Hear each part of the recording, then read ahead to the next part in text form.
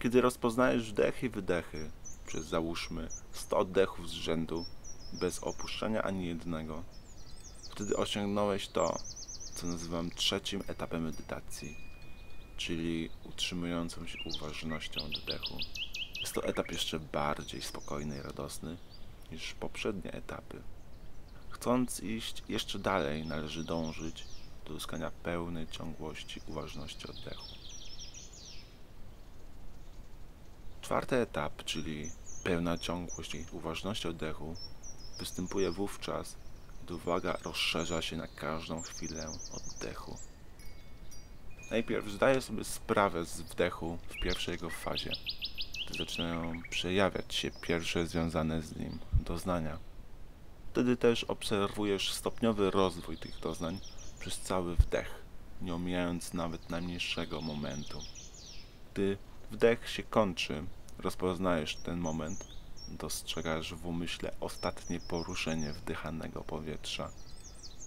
Wtedy zaobserwować możesz następny moment jako pauzę w oddechu. Tych pauz, zanim rozpocznie się wydech, jest znacznie więcej. Widzisz pierwszą chwilę wydechu i każde kolejne doznanie w trakcie rozwoju wydechu, aż do całkowitego zaniknięcia wydechu, jego funkcja się kończy. Wszystko to odbywa się w zupełnej ciszy i tylko chwili obecnej. Jest to doświadczenie każdej części wdechu i wydechu, nieprzerwanie, przez kilkaset oddechów z rzędu. Dlatego ten etap jest nazywany pełną ciągłości uważnością oddechu. Nie można dojść do tego etapu siłowo, przez łapanie czy trzymanie. Możesz osiągnąć ten stopień wyciszenia tylko poprzez puszczenie wszystkiego we wszechświecie, z wyjątkiem tej chwili, kiedy doświadczasz oddechu przejawiającego się bezgłośnie w tym konkretnym momencie. Ty nie dojdziesz do tego etapu, to umysł osiąga ten poziom. Umysł robi całą potrzebną pracę, rozpoznając ten etap jako bardzo spokojne i przyjemne przybywanie poprzez bycie sam na sam z oddechem. W tym momencie wykonawca, czyli podstawowa część naszego ego, zaczyna powoli zanikać. Przekonasz się, że na tym etapie medytacji postęp będzie bezwysiłkowy. Musisz tylko usunąć się z drogi, odpuścić sobie siebie i patrzeć, jak wszystko dzieje się samoczynnie, jeśli tylko na to pozwolisz. Umysł sam skieruje się ku nieskomplikowanemu, spokojnemu i błogiemu zunifikowaniu bycia w bezpośredniej bliskości z pojedynczym obiektem.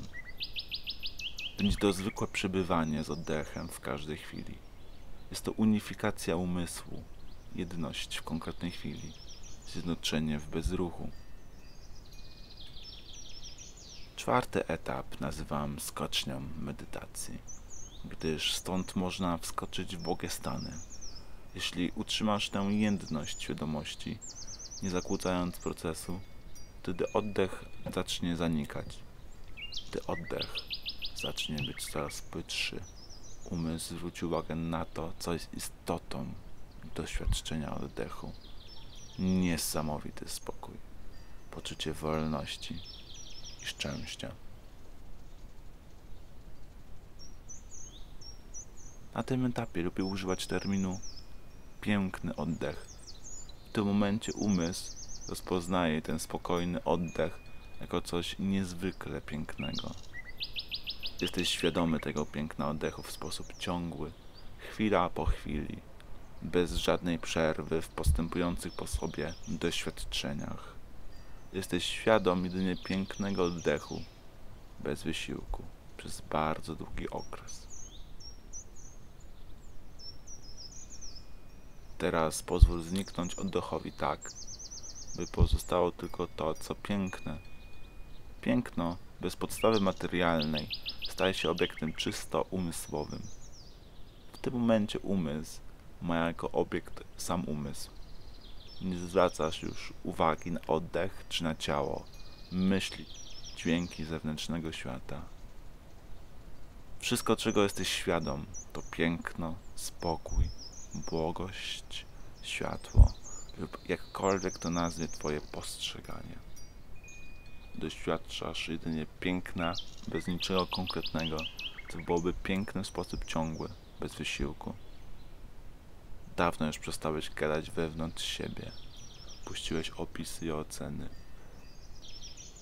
Tutaj umysł jest tak ustabilizowany, że nie może nic powiedzieć. Doświadczasz właśnie pierwszego rozkwitu błogości w umyśle. Ta błogość rozwinie się, wzrośnie i stanie się stabilna i mocna. Tym sposobem wejdziesz w stany zwane dżanami.